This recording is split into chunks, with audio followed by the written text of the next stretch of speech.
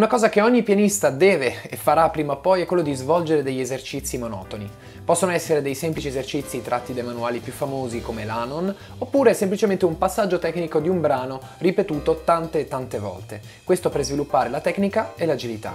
Quando ti eserciti in questo modo però devi stare molto attento, perché la verità è che per quanto ci piace il piano, svolgere la stessa azione in continuazione anche per un quarto d'ora o mezz'ora stanca, stufa, ci annoia tantissimo.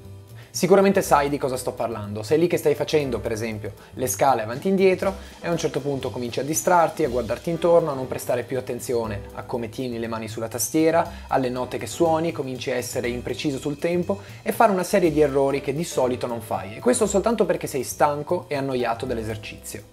Quando ti eserciti in questo modo però rischi intanto di perdere tantissimo tempo e sviluppare anche delle cattive abitudini, ma soprattutto non migliori quanto vorresti, quindi non sfrutti veramente lo studio che stai facendo.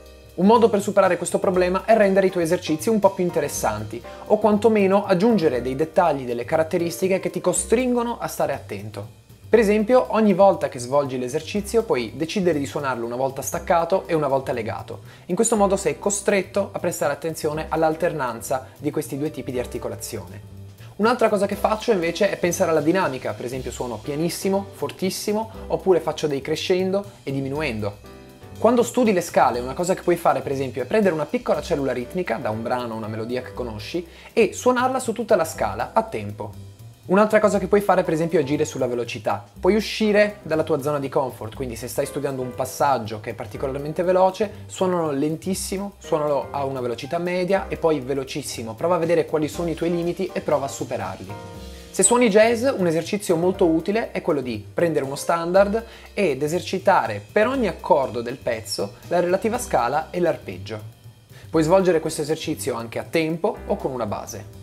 Un altro esercizio interessante è quello di prendere la parte, la frase più difficile in assoluto del brano che stai studiando ed esercitarla come riscaldamento a velocità bassissime. Questo ti permette sia di ripassare la parte, di memorizzarla meglio, sia di sviluppare la tua tecnica e provare giorno per giorno ad aumentare la velocità. Tutti questi piccoli stratagemmi possono aiutarti per rimanere più attento durante le tue sessioni noiose di esercizio.